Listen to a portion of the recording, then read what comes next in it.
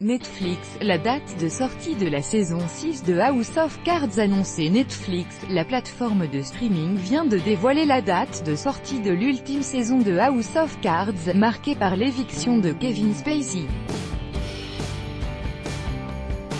Dernières actus Netflix L'actu Netflix du 7 août 2018 Netflix vient d'annoncer la date de sortie de la dernière saison de House of Cards.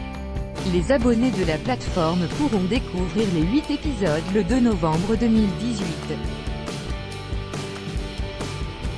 Marqué par l'absence de Kevin Spacey, congédié après des accusations d'agression sexuelle, la série laisse la place à l'ex-First Lady et vice-présidente Claire Underwood, incarnée par Robin Wright, devenue présidente des États-Unis. Cette saison 6 sera l'occasion de découvrir comment la série va expliquer la disparition de Frank Underwood. La programmation de Netflix au mois d'août L'actu Netflix du 1er août 2018 que regarder durant le mois d'août sur Netflix La plateforme a dévoilé son calendrier avec pour commencer les nouvelles séries insatiables le 10 août et The Innocent le 24 août. Du côté des séries habituelles, la saison 4 de Better Call Saul arrive le 7, la saison 10 de Doctor ou le 15 et les saisons 2 de Marlon et d'Archer respectivement le 22 et le 31. A noter l'arrivée des séries d'animation pour adultes, Désenchanté, le 17 et Paradise Police le 31.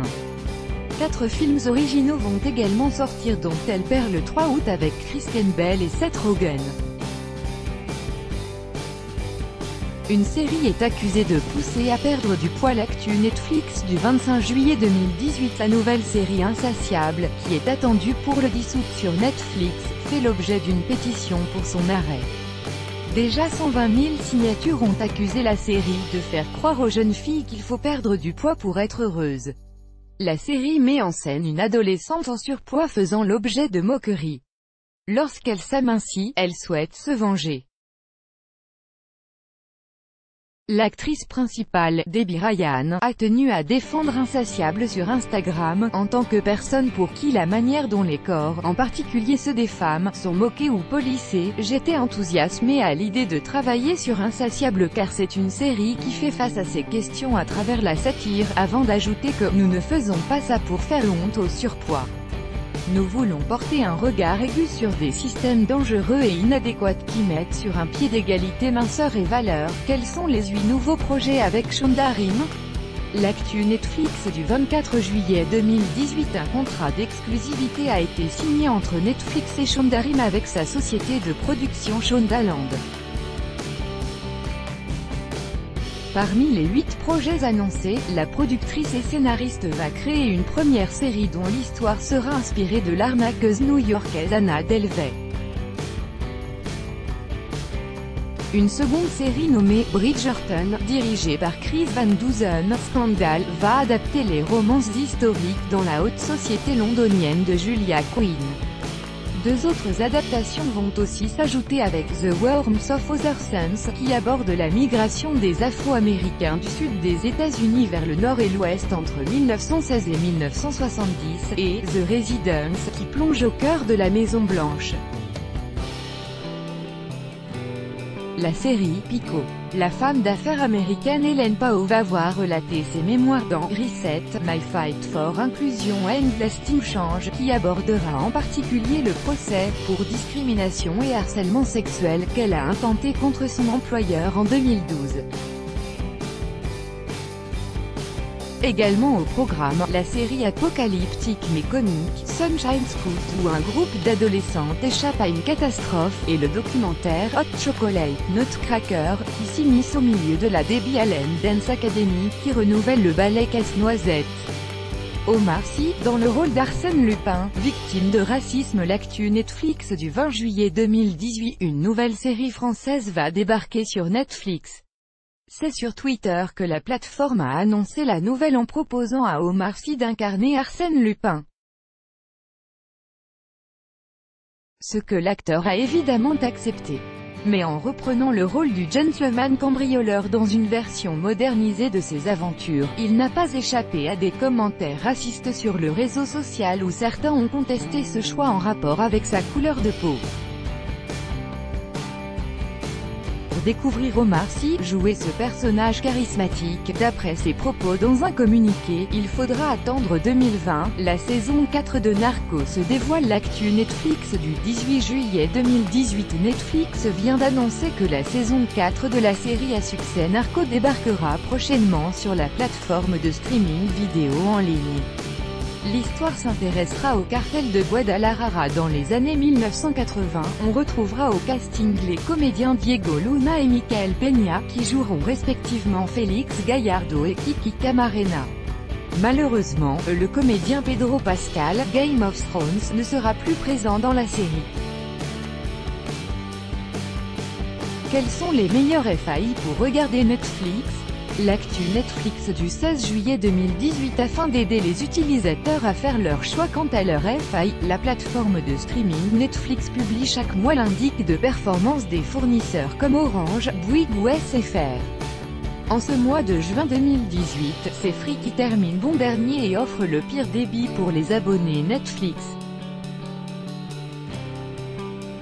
On retrouve juste au-dessus SFR et enfin au haut du classement Orage et Bouygues, avec respectivement 3,29 et 3,43 mégabits par seconde de débit. Orange et Bouygues restent au coude à coude, avec respectivement 3.29 et 3,43 mégabits par seconde, des résultats stables depuis plusieurs mois. CSFR-THD, l'offre fibre du FAI, qui remporte haut la main la victoire sur ce classement mensuel, avec des débits moyens de 3,88 mégabits par seconde en augmentation depuis mai 2018. C'est donc SFR et Free qui semblent avoir fourni les plus gros efforts afin d'offrir la meilleure expérience de SVOD possible. Free en particulier revient de très loin, ses performances fin 2017 lui ayant valu de nombreuses critiques et le départ de moult abonnés frustrés des problèmes rencontrés avec Netflix chez ce FAI. Record de nominations aux Emmy Awards pour Netflix L'actu Netflix du 13 juillet 2018 Les nominations pour la 70e édition des Emmy Awards viennent de tomber et Netflix se hisse en tête du podium. Confirmant son statut toujours plus imposant dans le monde télévisuel, la plateforme vient de dépasser HBO avec 112 nominations contre 108 pour la chaîne câblée qui avait la première depuis 17 ans.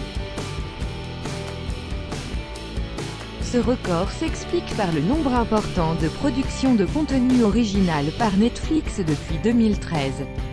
Pour autant, le géant du streaming n'a pas de série vedette comme Game of Thrones qui a obtenu 22 nominations. Pour connaître le palmarès, il faudra attendre la cérémonie du 17 septembre prochain, présentée par les acteurs du Saturday Night Live, Colin Jost et Michael Che du téléchargement automatique pour les abonnés Netflix L'actu Netflix du 12 juillet 2018 Afin de faciliter la vie de ses utilisateurs, Netflix vient de créer une nouvelle fonctionnalité baptisée « Smart Downloads ». Pour le moment, seuls les possesseurs de smartphones sous Android pourront essayer le téléchargement automatique dans leur application. Si depuis 2016 il est possible de télécharger du contenu pour le regarder hors ligne, désormais, les abonnés n'auront plus à se soucier de télécharger leurs épisodes à l'avance puisque Netflix le fait pour eux. Pour faire simple, si vous avez téléchargé le premier épisode de Orange is the New Black sur votre téléphone le matin, que vous le regardez dans le métro et que vous revenez chez vous le soir, Netflix va utiliser votre connexion Wi-Fi pour télécharger automatique le deuxième épisode et supprimer le premier, un gain de temps et de mémoire considérable, ce qui devrait plaire aux millions d'utilisateurs de Netflix. Malheureusement, les possesseurs d'iPhone vont devoir patienter plusieurs mois avant de voir apparaître cette fonctionnalité sur leur téléphone. Si toutefois, certains ne seraient pas intéressés par ce nouveau système, il est possible de le désactiver en allant dans le menu Plus puis Paramètres de l'application pour refuser le téléchargement automatique. Un nouvel abonnement plus cher pour Netflix L'actu Netflix du 5 juillet 2018 Netflix fait évoluer ses offres avec un nouveau tarif pour les futurs abonnés à la plateforme de SVOD, jusqu'ici accessible pour 7,99€, 10,99€ ou 13,99€. L'offre Netflix se décline désormais sous un quatrième label Ultra, proposé à 16,99€ ou 19,99€ d'après net. Selon le site italien Tutto Android qui indique le premier tarif, le partage d'écran en simultané passera à 2, contrairement à 0,1 net qui n'a pas constaté de diminution. Netflix a indiqué au site que ces changements étaient pour l'instant des tests. Nous testons continuellement de nouvelles choses et ces tests varient habituellement dans le temps. Dans ce cas, nous testons de légères différences de prix et de fonctionnalités pour mieux comprendre quelle importance les consommateurs accordent à Netflix, a déclaré la plateforme de streaming. Les futurs abonnés à cette offre auront accès à tout le catalogue Netflix sur possiblement 4 écrans en simultané, mais aussi au flux Ultra HD et HDR. A noter que ces avantages sont les mêmes, à l'exception du flux HDR, que le forfait premium disponible pour 13,99€. Les abonnés actuels qui paient 13,99€ ne voient toutefois pas leur offre changer, ils auront toujours la possibilité de regarder leur contenu sur 4 écrans en simultané ainsi que de recevoir leur flux en Ultra HD. Les futurs abonnés qui souhaitent avoir accès à ces avantages, eux, devront mettre la main à la poche et débourser 3 euros de plus donc. Première offre de streaming par abonnement au monde, Netflix est devenu un géant dans son secteur malgré la concurrence qui peine encore à se former. Loin derrière, Amazon Prime Video tente de rivaliser avec de nombreux contenus mais a encore du mal à rassembler un public important et fidèle.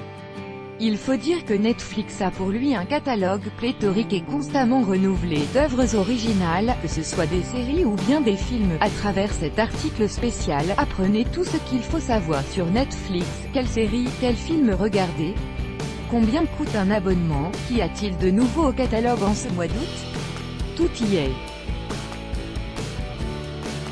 Netflix durant le mois d'août. Netflix propose plusieurs nouvelles séries pour ses abonnés, à commencer par la controversée Insatiable, prévue pour le 10 août et la série de science-fiction, The Innocent, qui suit le couple d'ados Harry et June découvrant les secrets de leur famille, disponible le 24 août. Deux séries animées vont débarquer avec Désenchanté, le 17 août, créé par Matt Groening, le papa des Simpsons, et Paradise Police, le 31 août, à l'humour trash.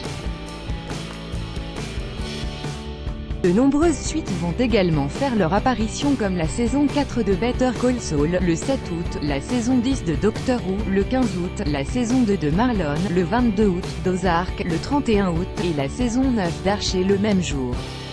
Sortez vos agendas, pic.twitter.com slash 7cs4 Netflix FR. Trois autres comédies suivront, avec le paquet, le 10 août, à tous les garçons que j'ai aimés, le 17 août, et The After Party, le 24 août. Un large choix de films sera disponible l'on retrouvera parmi eux Pixel, le 2 août, Annabelle, le 9 août, Hitman, le 15 août, Mon beau-père et nous, le 23 août, Hulk, le 29 août, et Out of Africa, le 29 août. Catalogue Netflix Lorsque l'on s'abonne pour la première fois, le contenu pléthorique de Netflix peut rebuter. La plateforme de streaming offre des milliers de séries, films, documentaires, dessins animés, reportages et il n'est pas évident de faire un choix. En premier lieu, sachez que Netflix catégorise chaque contenu, afin de s'y retrouver plus facilement. La partie comédie est notamment très bien fournie. Par la suite, plus vous regarderez de films et de séries, plus l'algorithme de Netflix se chargera de trouver des programmes adaptés à vos envies.